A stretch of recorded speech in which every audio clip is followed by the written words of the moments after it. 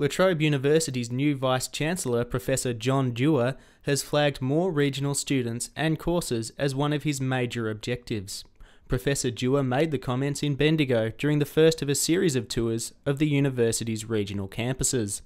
Professor Dewar spent several days meeting with staff, students, and members of the community to discuss the strategic direction of the university. Part of the strategic conversation I want to be having with the university in the next few months is what areas should we identify as sort of iconic areas for the university where we really nail our colours to the mast and say if you come here you will be working with the best teachers, the best researchers, doing the, the best work uh, in those areas that's being done in, in Australia and in, in some cases in the world. Bendigo has a big part to play in that, as, as do the other regional campuses. It is hoped that these discussions will help guide course development and delivery in the context of rising student demand in regional areas. La Trobe is the biggest provider of higher education in regional Victoria.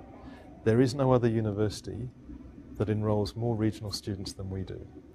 Even universities that are headquartered in the regions are smaller than we are in that respect. So Bendigo is the biggest of the regional campuses and it's therefore a critical part of our regional engagement in Victoria. Currently, regional campuses provide 30% of La Trobe University's student load. The university is planning to expand that load across all five of its campuses.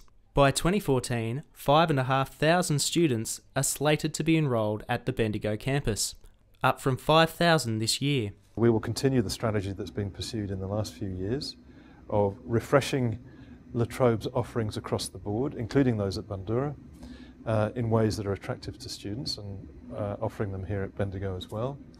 But at the same time, identifying areas where Bendigo can offer a degree that's unique to Bendigo. Dentistry, pharmacy, planning would all be examples of that.